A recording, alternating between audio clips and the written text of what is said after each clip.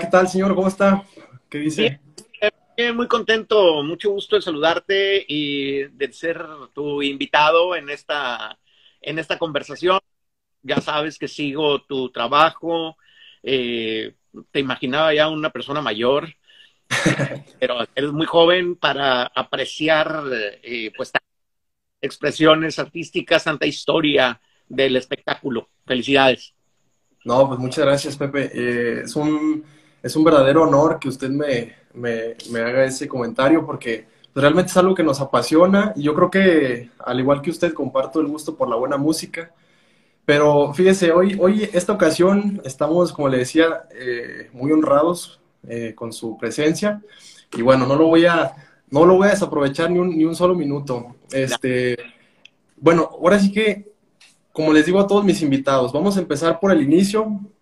Vamos a empezar porque yo siempre a lo largo de mis cortos años de vida he seguido su trabajo, he seguido lo que usted hace, todo lo que ha desempeñado. Y sinceramente, eh, pues aprecio mucho el que haya aceptado también estar aquí.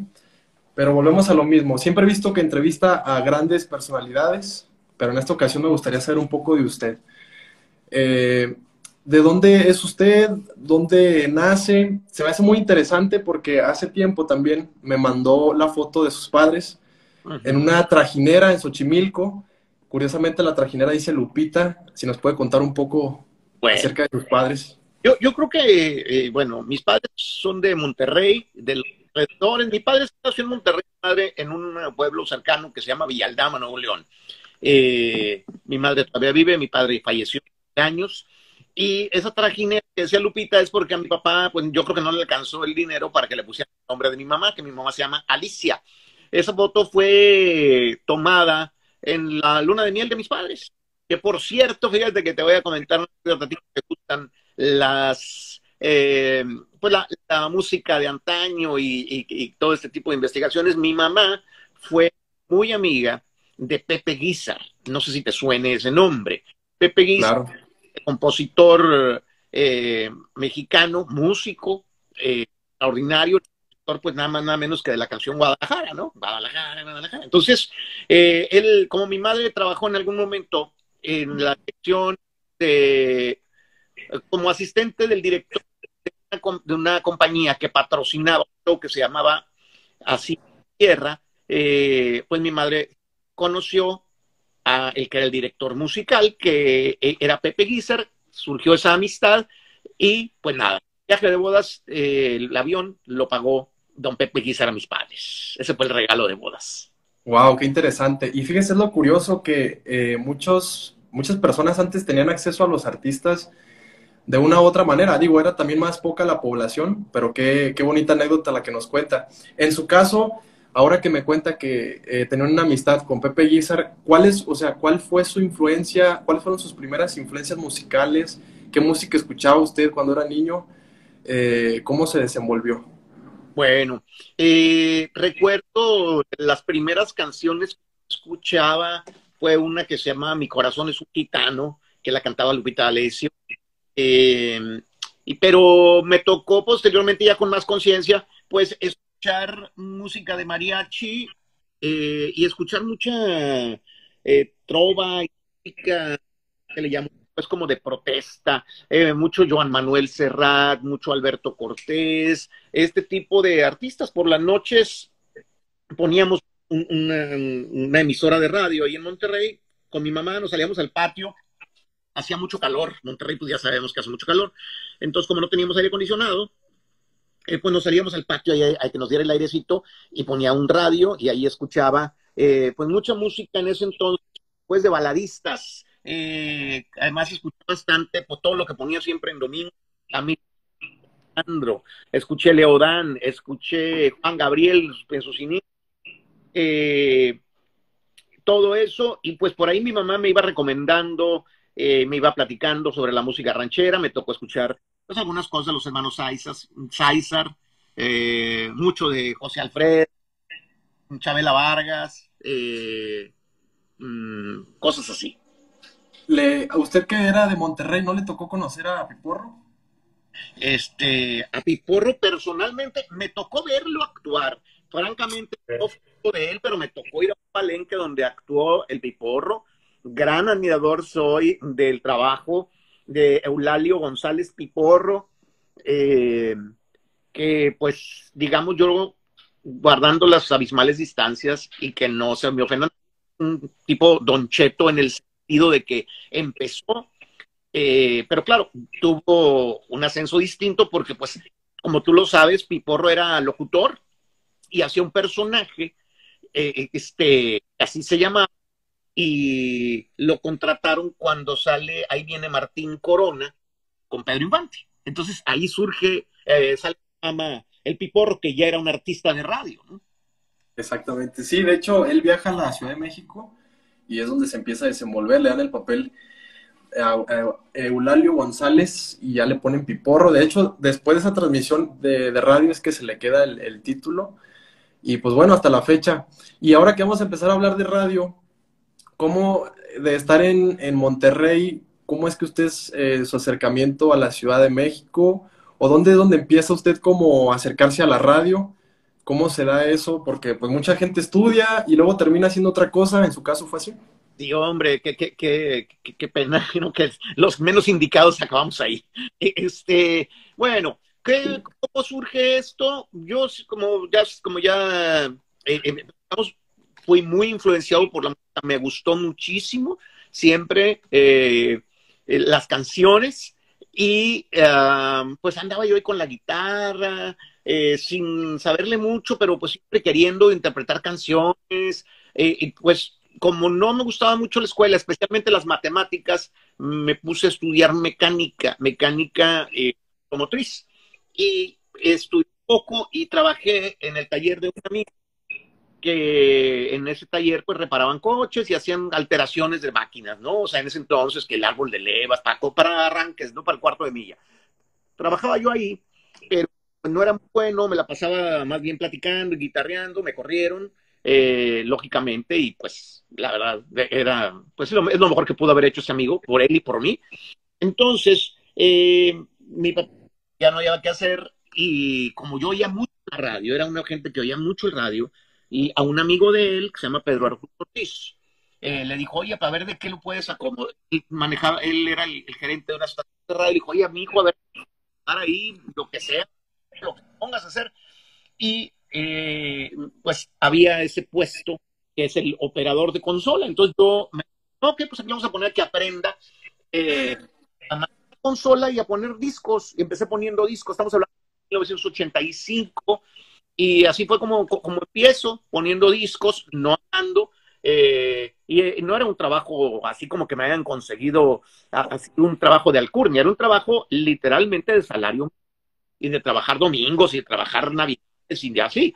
Entonces, pues, pero para mí fue lo máximo porque dije, bueno, aquí puedo trabajar, no lo puedo creer, en, lo que yo más hacía en el día, oír el radio, pues esta vez iba a oír las canciones que yo estaba poniendo y me iban a pagar. Entonces, pues ahí, empieza, ¿no? Y em, empecé a, hacerme amigo de los locutores, yo admiraba mucho a, los locutores y las estrellas que yo conocía desde afuera, de repente los conocía. Allá adentro yo diciendo de ellos, empacándome con ellos. Eh, de ahí empecé a practicar y a, insistir que me dejaran hablar en el radio, poquito a poquito, porque ya era muy, una persona eh, con mucha para hablar en público, tuve que ir empezando poco a poco. A las 12 de la noche, la emisora con en la que yo trabajaba, que se llamaba que se llamaba Radio Cono, en Monterrey, ponía en inglés, eh, cerraba a la una de la mañana, entonces de 12 a 1, yo, yo trabajaba poniendo grabaciones de otros locutores y poniendo música, y a las 12 de la noche me dejaban a mí abrir el micrófono y decir la hora. Entonces, yo me emocionaba mucho. Esto es Radio Cono y son las 12.05. 12.05, temperatura 20 grados. Y así empecé poco a poco. Eh, se dieron cosas. Eh, este, y pues a la par con eso empecé a, tratar de componer canciones. Eh, y empecé a ir saliendo. primero dentro del movimiento, o sea, como locutor dentro del, me tocó una etapa muy bonita que fue el, la, este, la, del rock en tu idioma, entonces entrevisté a Miguel Mateos, a todos a los enanitos verdes, a Radio Futura, todas estas estrellas. Mm, mm, me, acerqué poquito al mundo del regional mexicano, ya en un radio, cuando faltaba algún locutor, me decían, oye, pues éntrale. Y estaba ahí que a los doneños, ese tipo de artistas, porque era una emisora interesante, tocaba a los doneños, tocaba a los, eh, que, pues a Gerardo Reyes, tocaba obviamente pues a, lo de ahí, lo local, que los varon de Apodaca, en ese entonces estaba empezando Bronco, eh, eh, tocaba pues, Ramón Ayala, se tocaba todo esto. Sí, empezó, empezó fuerte el regional mexicano y tomó una fuerza impresionante. Digo, ahora se le dice regional mexicano, antes pues eran boleros, música ranchera, y los exponentes eran siempre los, o sea, los grandes era, en su momento, pues Jorge Negrete, eh, Pedro Infante, Javier Solís, ahora ya último Vicente Fernández y sus derivados, ¿no? Un Luis Aguilar, etcétera. Pero ahorita mencionó algo bien interesante, la composición. Esa pregunta venía más adelante, pero en, el caso de la composición, hoy en día, pues ya hay un sinfín de videos y, cosas. Hay otras personas como José Alfredo que se les da de manera nata. En, su caso, ¿cómo fue o cuándo? Eh, pues eh, bueno, primero, antes de contestarte, quiero enviar un saludo, un abrazo a toda la gente que me hace favor de saludar de este chat. Eh, gracias, gracias, me emociona mucho. Les agradezco, no puedo concentrarme para los saludos personales, eh, porque me diste. ¿Quién me preguntó? ¿Qué me preguntó? El, de la composición, porque la canción que más me gusta de usted es la de Cuéntale, la de la arrolladora. Ah, sí. Esa era mi favorita. Cuéntame. Cuéntame. ¿Cómo te Bueno, mira, eh, empecé a componer, yo creo que eh, la primera vez que me rompí el corazón, mm, quise hacer, o sea, me, di cuenta que empecé como en mi mente a, hacer una historia, ¿no? de eso hubo una novia por ahí que tenía dos novios, uno de ellos era yo, y yo el otro tampoco estaba enterado, entonces de repente nos dimos cuenta los dos al mismo tiempo y fue una cosa muy fea. Eh, sobre todo cuando tienes 15, 14 años, y de ahí compuse, creo que mi, mi primer canción, no me acuerdo. Este, y, y, así fue, empezar a intentar componer. Después fui a seguir intentando, intentando con la guitarra, eh, melodía, verso. Eh, en un principio, pues, un rechazo, ¿no? este, después, poco a poco hubo, eh, empezaron a sonar un poquito mejor las canciones y, el momento que yo recuerdo que más, cuando ya empieza a sentirse como que yo tenía algo de capacidad para eso, cuando me graba Liberación, la canción que se llama Ese Loco Soy Yo, que fue una colaboración con un compa que se llama José María Lobo. Entonces, eh, cuando surge eso, ya empieza a sonar ahí un poquillo en el mundo de don Servando Cano y todos estos representantes, empieza a sonar de que yo componía canciones, surge una canción que hice también para los humildes que se llama Para la raza del barrio, y luego, eh, pues de ahí, de ahí nos poco, junto con Tomás Rubio, creamos algo que se llama El Mor, eh, que es un, un personaje de un niño de barrio, muy aventurero, y pues empezamos a hacer paro. Entonces, eh, muchas de esas yo las escribí junto con Tomás, una solo, unas el solo, pero una gran parte de repertorio fue. Entonces, así es como empieza el asunto de la composición. Este. Mm. Órale, está interesante. Sí, ahora, por ejemplo, eh, alguien que también yo he seguido mucho, digo, porque pues el tema de los artistas del siglo XX siempre para mí ha sido relevante, pero pues no, no eso no significa que tengan que estar todo el tiempo allá, ¿no? Alguien que también últimamente compone y que también lo sigo mucho es a, Francisco El Gallo Elizalde. Ah, muy bien. Este, Así compone bonito el morro, claro. y es este, ya hasta Alejandro Fernández le grabó por ahí, vi que también cantaron en un, en un evento, entonces, pues qué, qué bueno que esas canciones pues también formen parte del, del cancionero mexicano, ¿no? Como antes se le, se le solía decir.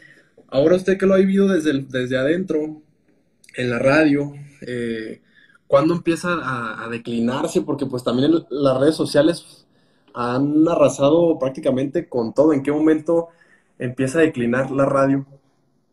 Eh, bueno, yo creo que son varias circunstancias las que van eh, sumándose a que la radio sea menos escuchada el, día de hoy que eh, una, pues el que ¿cuándo, empieza esto a pasar?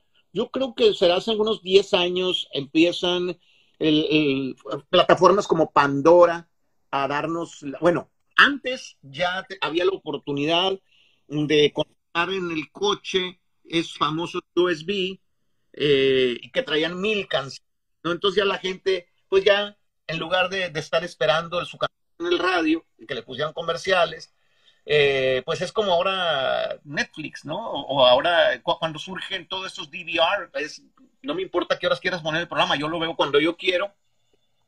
Eso eh, hizo, fue una de las, la parte musical, este, a la gente empezamos a consumir más la música pues sin esperar que se les antojaba ponerla, sino ya teníamos el control, el poder.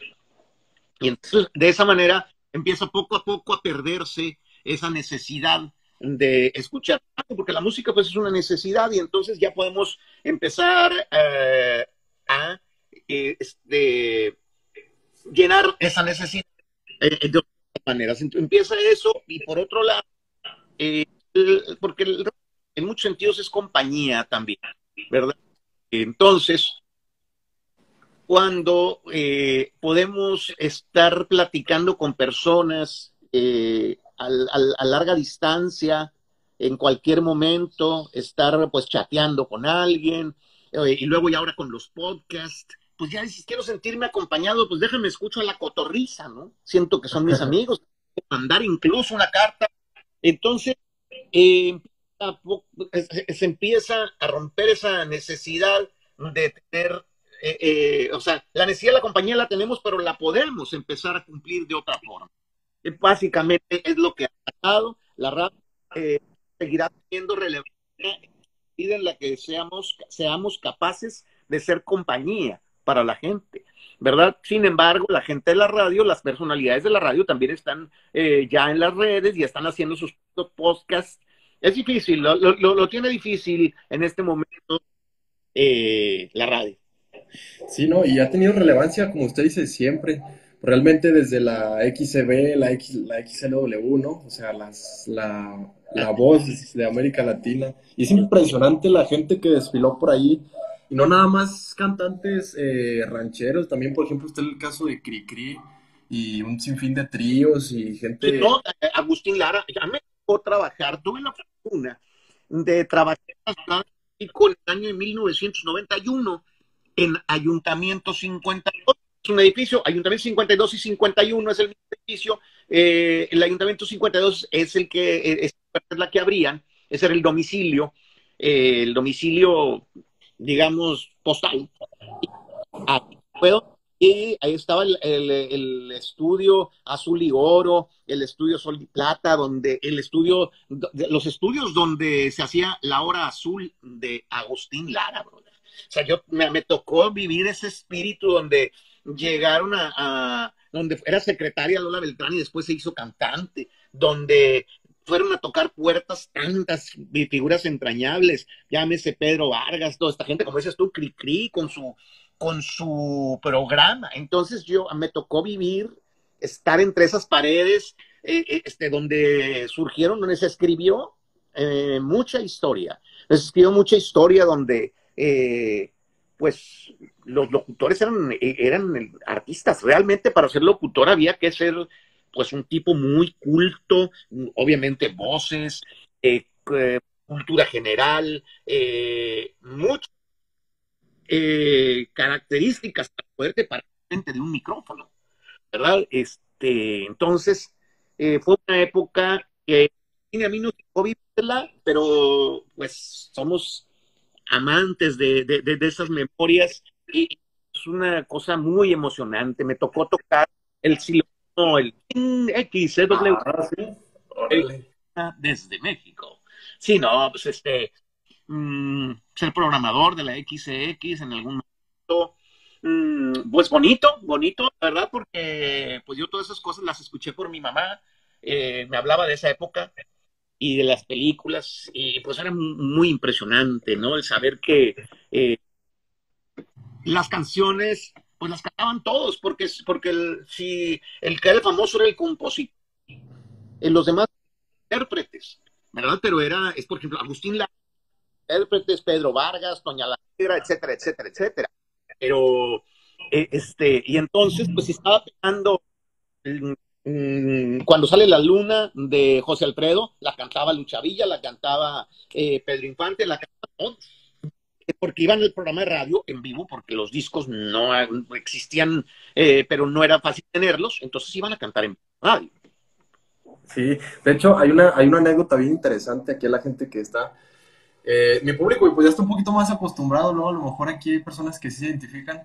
Eh, por ejemplo, Miguel Aceves Mejía comentaba y se quejaba porque él primero grababa una canción y luego Pedro Infante le gustaba y le decía, venga para acá la canción y pues con Pedro Infante el trancazo.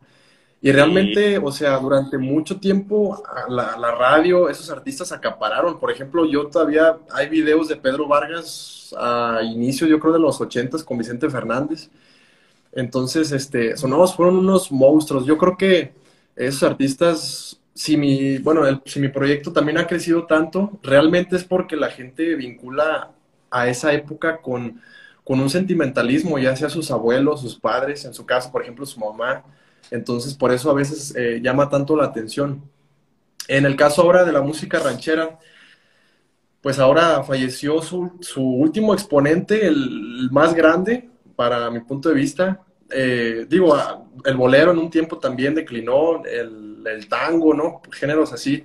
¿Qué cree usted que pase ahora con la música ranchera? Mm, mira, yo pienso que la música ranchera el, bolero yo lo veo regresando un poco, con gente como los dos carnales. Eh, hablando del bolero ranchero, el bolero así romántico, como con las guitarras, como el estilo de los panchos y los dandies, esa onda, lo veo muy difícil. Pero eh, como ritmo, el bolero, eh, hay intérpretes por ahí, de las cosas que son boleros populares. este, la canción ranchera. Es difícil que el lenguaje, mm, esas atmósferas así más bucólicas vuelvan a ponerse de moda porque son eh, muy, sí, sí están muy alejadas de este momento.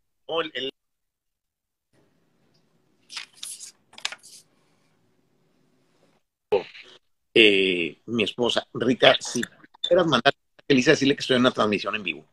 Eh, bueno, entonces regresamos a que ya canciones como El Aguatero y, ese tipo de ah, difícilmente volverán a, con, esas historias del día de hoy.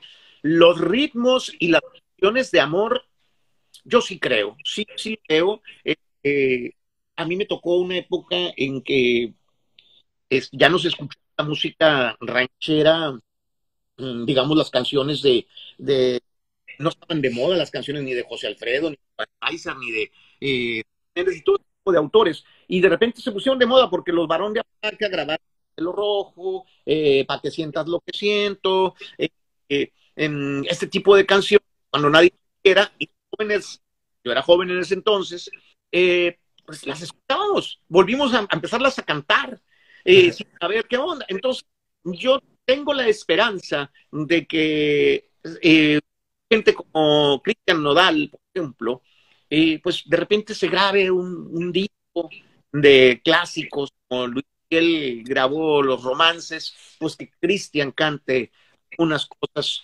eh, de aquella época gusten y que los jóvenes las abracen como pasó, repetimos, con, con música, con boleros cubanos y todo esto de lo que hizo Miguel, ¿no? Claro, sí, de hecho, eh, al inicio, pues Luis Miguel, e incluso no tan al inicio, recientemente Luis Miguel grabó un disco de también puras canciones de José Alfredo, cuando sale La Luna. Y, y, este, Alejandro Fernández también, pues también recién cuando empezó trajo también algunas de Agustín Lara. realmente, como usted dice, es, es, muy complejo. Y luego los artistas de ahora cantan esas canciones y la gente los, se los acaba. O sea, también no es tan fácil que el público los acepte porque precisamente tienen esa idea de los grandes ídolos, ¿no? Pues Pero pues alguien que también, Ángel Aguilar, por ejemplo. Ah, Ángel Aguilar canta hermoso y yo creo que ella es una de las personas que ha estado mm, acercando a la gente joven a música muy buena. Cantó La Viquina, no, La Viquina no, La Llorona. Exactamente, sí, sí, sí. sin duda, Cielo Rojo.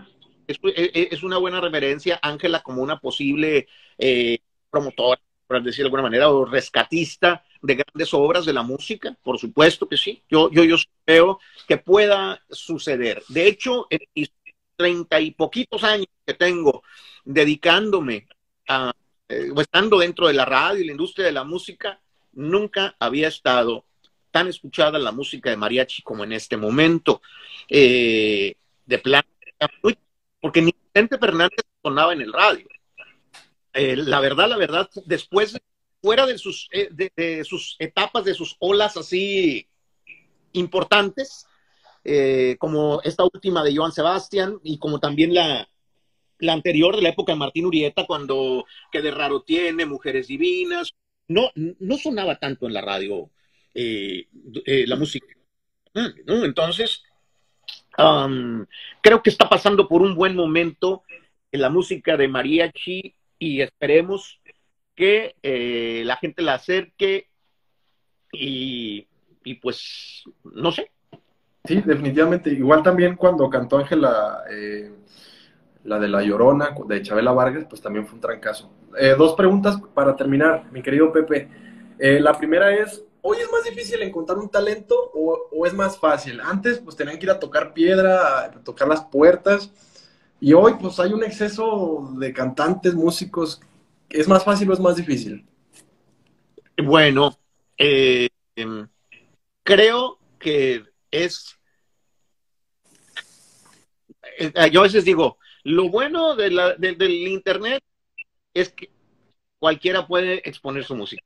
Y lo malo es que cualquiera puede exponer su música en el sentido de que, pues sí, es más fácil para ti ser cantante que la gente te conozca, pero es igual de fácil para todos. Entonces, eh, hay muchos talentos y, hay que trabajar bastante, hay que trabajarle. Es, pero, pero sin duda, sin duda, hoy es más fácil que antes. Eh, era muy complicado realmente eh, poner, que, te recibiera y sobre todo eh, que hoy ya no depende todo de una persona que en una disquera y si se le antojaba grababas y si no se le antojaba no grababas nunca, ¿verdad? O alguien de una estación de radio que decide que, si te toca o no te toca. Hoy, si tienes algo y trabajas un poquito, se va a ir haciendo viral y, y lo puedes hacer. Creo que el día de hoy es más fácil si tiene talento, triunfar en la música Sí, definitivamente, sí. De hecho, algo que yo siempre le comento aquí a la gente donde subo posts y cosas de Pedro Infante, que soy un fan de Hueso Colorado de Pedro Infante, es que realmente Pedro Infante tenía mucho talento, o sea, fue un astro, pero estuvo en el momento indicado, con las personas indicadas, en el tiempo indicado, con, las con los productores indicados, y eso lo llevó a que fue un... Y también se murió en la época, en, su, en el año donde ya iba para abajo el cine. Pues sí, por supuesto, fueron, fueron muchas cosas las que, las se alinearon, muchos astros. Es que también hay que estar donde pasan las cosas, ¿verdad? O sea, tú me dices, oye, yo para, que cuando era locutor, pues trabajaba en la radio, empezaba haciendo favores, lo que sea, diciendo la hora y poco a poco me fui acomodando. En cambio, a lo mejor había gente ya que llegaba queriendo trabajar y teniendo familia y quería que le pagaran bien, experiencia y a y trabajamos gratis, gratis. Entonces, eh, surgen cosas. Y luego ya después yo trabajando en la radio, pues a los artistas, los saludaba, oye, este casetito, escúchame, a ver si te gusta. Entonces, pues hay que ponerse donde las cosas están pasando. Si no, no, no, no, es más complicado, es más complicado. Yo en mi vida he pedido trabajo ni he hecho una prueba de, locutor. Yo, siempre pensé, el día en que yo haga un examen, bueno, y examen para ser locutor, sí. En la Secretaría de Educación Pública, un examen de cultura general, idiomas, etcétera, etcétera, etcétera. Pero eh, en una radio, pues siempre estando ahí, pues no hay más, pues, este güey, y poco a poco me fui, fui aprendiendo, ¿verdad? Eh, pero también tiene mucho que ver ese asunto, que eh, hay tanta gente y luego no se caracteriza por ser el lugar donde más pagan, pues es difícil, ya mayor compromisos, dedicarse a la radio, este, pues porque si no sabes no te van a pagar mucho. ¿Y cómo vas a hacer si no, has trabajado? Entonces, es un... Sí, es una contradicción. Para despedirnos, mi, mi querido Pepe, eh, después yo sé que faltan muchas cosas más, vienen cosas más y seguirán viniendo cosas más para, para usted. Eh, ahorita pues es una persona que todo el mundo lo conoce y tiene una trayectoria impresionante en cuanto a lo que le, realmente lo que le gusta hacer, que platica con, con quien sea. Ahora los premios de la radio son impresionantes. Eh, me tocó estar en el, del, en el de Guadalajara, me parece que en 2019 fue en el Telmex. Y eh, después de conocer a tantas personas, tantos artistas, hasta ahorita, ¿qué es lo que le deja? Eh, ¿Qué es lo que más le ha dejado? Pues me, me, soy admirador de su talento y pues no sé, me, me alegra, creo que aprendo a escuchar, eh, porque muchos de los artistas eh, pues quieren estar hablando de ellos y pues uno le toca escucharlos, ¿no? O sea, sobre todo así muy grandes. Hay gente que, por ejemplo, eh, no le gustaba estar con Joan Sebastián y a mí sí, porque, me, porque yo era tan admirador que yo, yo me callaba y quería escuchar escuchar que platicaba, que un poema, que esto y lo otro. En cambio, hay gente que a lo mejor no son fans y decían, ay, hoy nomás está hablando de él. Entonces, así como él, eh, pero pues, no, o sea, no puede ser una persona normal, es que sensibilidad, pues eres alguien de lo normal y uno tiene que aceptar que estos personajes pues, no son iguales a los demás, o sea, entendamos que no es así el rollo. O sea, eh, hay miles de contadores, de ingenieros, de abogados, etcétera, compositores buenos. Hay pocos. Entonces, pues yo, yo los entiendo y los escucho y aprendo eso. O sea, he aprendido, eh, pues eso. No, pues muchas gracias, muchas gracias, Pepe. Y pues para mí es un placer tenerlo aquí. Realmente, le digo, muy aparte del, del proyecto que es esto pues como el nombre lo dice, ¿no? El historiador, y me gusta escuchar a las personas, y más cuando han tenido una influencia en mí. Yo desde que estoy chavito veo su programa y, ahí, lo andamos correteando y siguiendo, y pues bueno, me da mucho gusto saludarlo. Sigamos con estas conversaciones, yo estoy abierto a esto, me encanta, es el tema que más me gusta, es el tópico que más me encanta, y este, cuando hay tema, ya sabes que aquí estoy y, te felicito. Pues, sigo tu contenido y seguiré pendiente de todo lo que sacas. Y te mando un abrazo muy grande. Ya está, muchas gracias, muchas gracias Pepe. Y gracias también a la gente que aquí se estuvo conectando. Uh, esperen al próximo invitado también y pues esperemos verlo también usted por aquí otra vez. Saludos, muchas gracias, un abrazo, saludos. Bye bye. Ahí está, pues para toda la gente que se conectó, muy buenas noches y nos vemos en la próxima, su amigo el historiador.